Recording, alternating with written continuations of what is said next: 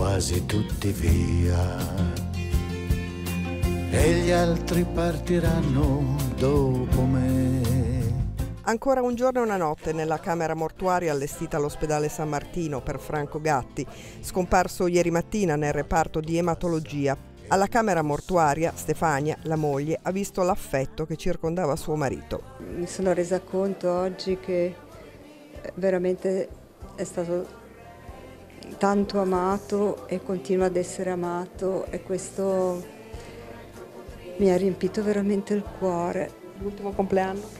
È stato il 4, era all'ospedale. 80 anni in ospedale, poi dentro e fuori negli ultimi giorni per Franco Gatti, alternando i ricoveri alle abitudini le passeggiate sul lungomare di Nervi, il bar senza pensieri vicino alla stazione. Ultimamente si vedeva un po' qui nel baretto qua, qualche volta si vedeva nel baretto lì dalla piazzetta, girava un po' così. Poi dopo una settimana non l'abbiamo più visto, ma non sapevamo che... Qui tutti conoscevano Franco Gatti, una parola, un caffè, sempre gentile. Era una persona bellissima, stupenda. E passava di qua prima di andare in passeggiata, prendeva il caffè, bellissima, una bellissima persona. Aveva una polleria, ah, sì? la mamma di lui, sì. E io lo conoscevo perché abitavo là.